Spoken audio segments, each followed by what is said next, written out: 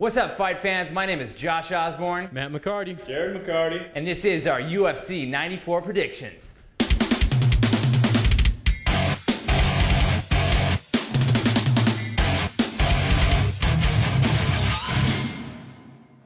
All right, we're back. Another solid card thanks to UFC. 94 is going to be awesome. Really jazzed about it. First fight, we got Thiago Tavares taking on Manny Gamburyan. Matt, who's going to win and why? Manny, decision because you can take him down and lay on him. Okay, decision. Jared. I'm gonna say Manny TKO because he's pretty strong. He's a strong, strong boy. He's definitely going to go down and throw the old hammer fist like he does. I'm taking him to ground and pound out uh, Tavares and take this one TKO.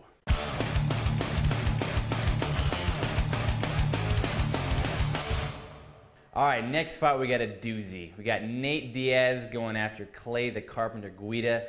Definitely uh, some title ramifications for Yeah. this one. The, the winner definitely takes a huge step forward. The loser takes a giant step backward. So I see this one going one of two ways. I see Diaz via submission, or I see Clay just kind of grinding this one out, taking him down, staying out of uh, Diaz's submissions, and winning a decision. Tough call, but I gotta take Nate. He's really shown the fireworks lately, and I'm taking him via submission. Matt, what's gonna happen on this one? Yeah, it, there's no getting around it. He's gonna submit him. I don't, you know, Clay has good takedowns and he, he's good at overwhelming guys, but I think Diaz just his jujitsu's too good, and you know, i if he really wants to stand up, I don't think Clay can keep him down. So you know, and then if it does stand up, Diaz can, you know, he's got the long arms, so you can box him. Yeah. So I'm gonna give it to Diaz submission.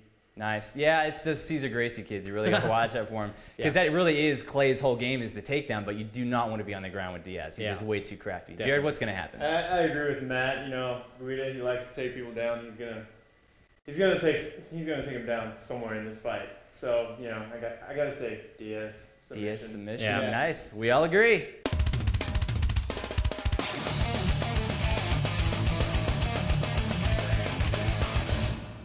Next fight, we got Karo the Heat Parisyan mm-hmm. taking on Dong Hyun Kim. There's a little backstory about this one. We've been discussing this fight in detail, and Karo Parisyan is a hated man in the McCarty household. They both despise the guy. Is that correct? Yes. Yeah, definitely. Okay, now I have nothing against him. I really don't like him. He's a little too crazy for my for my taste. But here's the deal: if Kim wins the fight, I'm going to shave a huge section of my beard off right here, so I got some crazy chops going on.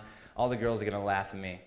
Now, if Karo wins, Matt is going to do the same thing with his beard. He's going to shave a huge section off, and he's got like a Rob Zombie thing going on. So it's a pretty big commitment. Me, I keep it kind of short. Matt's got the, the bulk going on. Yeah. So he will shave a huge patch right in the middle. Look very awkward. now, Jared, he's picking Kim as well. We'll, we'll discuss how in a minute. But if uh, if Karo wins, he's gonna do the whole like mullet thing, right? Miguel Torres. Miguel Torres. That's kind of cool. you though. got- Miguel Torres, he looks cool with it. I want something like Yeah, really the girls crazy. are still gonna love me. Oh, is that how it's gonna work? so yeah, this all gone, and we were gonna give you the proof on the next video, so you can uh, definitely see that it all went down. So again, I'm taking Karo. He's gonna take down Kim. He's gonna pound him out, probably get him down with one of his sick judo throws. Matt, how do you got Kim winning? Uh, decision. I think he's better at judo and he is stronger in the mind department. Okay, Jared, what do you got? I'm just gonna say I want Karo to get knocked out, so I'm gonna say KO. KO, nice. You heard it here, and definitely check back for the results on this one.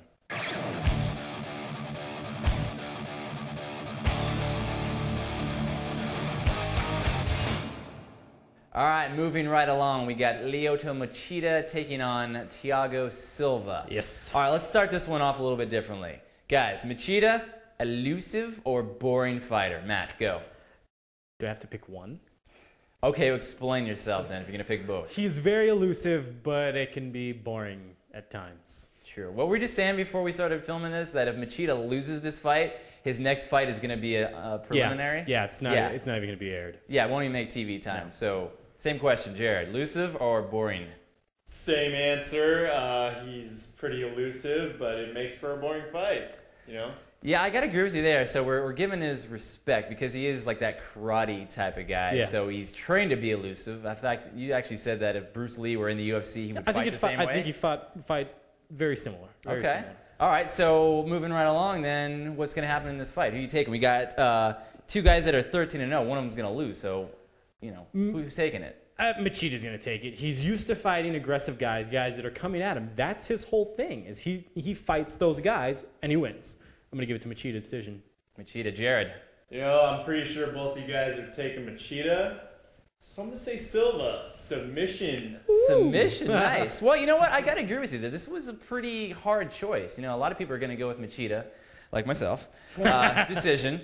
But you know, this guy is 13 and 0. It's not like he's you know knocked out a bunch of chumps. Yeah, but yeah. you know, he definitely deserves a spot. Wouldn't you agree? Yeah, definitely. So again, Machida, Silva, Machida. We'll see what happens.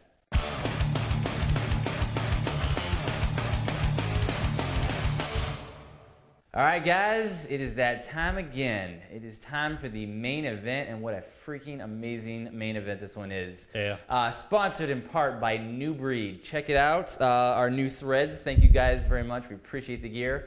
You want to get some for yourself, you want to check out newbreedgear.com. Go online right now, order some. Tell them Osborne and McCarty sent you. Okay, wow. BJ Penn, GSP. Yes. Amazing matchup. These guys have already fought once before, and I hear a lot of people saying that they thought it was a boring fight. I disagree 100 million percent. I thought it was a great fight. You really didn't know who was going to win that. Uh, yeah, great matchup, and you know I understand how important this is to a lot of people because BJ Penn and GSP are huge fan favorites. I didn't want to screw Yeah. this up, so I'm like, man, I'm gonna like do a ton of research. So I was online for like two hours last night trying to figure out the pros and cons. Here's what I got. Here's my notes. This is going to be an amazing fight. That's all I wrote down right there. That's all I got. This is tough. I mean, there's a lot of stuff that's been said about both these guys, and you know, you really can't agree or disagree until you see these guys again. Because I really think they've improved as fighters since the last fight. Definitely. Nobody's going to disagree with that one. So Matt, uh, GSP, BJ Penn, they're both title holders in their division. Yep. Both at their, their primes right now. Yep. What is it going to take for BJ to get that extra edge over GSP? He's gonna have to hit him early. I mean, it's just you know his cardio is better, but it's you know it's not Saint Pierre cardio. You know he's he's got a good jab. He's got heavy hands. He's got a good uppercut in the clinch. He's got great jujitsu. His takedowns are you know I don't even think he tries them. You know so you know he's gonna have to hit him early. So go early. Yeah, he's definitely he's just gonna have You to think nail him cardio early. might be an issue? definitely 100. percent Okay, GSP, what's he got to do to get that edge? Anything? No. Uh, Anything he does will be amazing. yeah. Yeah, I'm a little. He will biased. send from heaven. Um, you know, kicks. I think kicks are a huge part of that. You know, he doesn't have to worry about the takedown, like I was just saying. BJ doesn't even really try takedowns. He might scoop the leg, but I, you know, St. Pierre's got better conditioning. He's stronger. So lots of kicks. You know, leg kicks will set up a head kick. Will set up Superman punches. Uh, and honestly, I think St. Pierre can win this on top of BJ. I think he can take BJ down. I think he's strong enough to stay out of submissions, and I think you know he's he's good enough at jiu-jitsu to see things coming. He's not dumb. So I'm gonna give it to St. Pierre TKO ground and pound.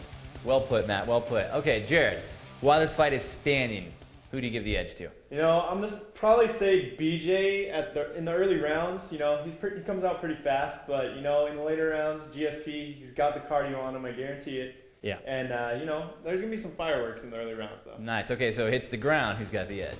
Now on the ground, I think GSP is quite a bit faster than BJ. You know, I think uh, off his back, BJ he's pretty tricky, pretty crafty, but uh, GSP I think is gonna be too fast to stay out of those submissions and stuff. So This is crazy, man, because like these guys are going to come up with a freaking amazing game plan, but we have no idea what it is because they're so good at pretty much everything. super everything. fight. Super. Yeah, fight. it really is. This This definitely fight. classifies as a super fight. Uh, so who you picking? I'm gonna say GSP. You nut huggers. Just take everything they said with a grain of salt because they worship this guy. So, okay, wow, that's a lot to, to take in there. Um, really, after all the research I've done, I think this comes down to BJ's cardio. I know Yeah. that might sound just like you know token answer to throw out there, but I really think BJ is going to do well if he comes out early, like he did with Sherk, and just start throwing quickly. And maybe when he catches GSP off guard, then go for the takedown right into side control or some dominant position where he can do something to GSP. The longer it goes, you know, the fourth and fifth rounds, man, GSP has already proven with his fight against Fitch that he's got the cardio, man. He can last in those fourth and fifth rounds and be as dominant as he was in the early rounds. So it's definitely gonna be tough, but I'm gonna balance out this this GSP nut hugging session we got going here. I'm taking BJ Penn via TKO.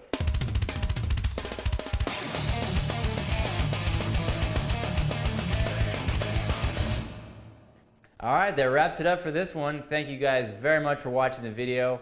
And uh, we really appreciate the support that you guys have shown us. We really enjoy making these videos. And when you guys write us and tell us how much you like it, it really means a lot. So thank you for that. And thank you for all the kind letters to Matt congratulating him on little Liam. He's a cute kid. We'll try to get him on one of these videos soon.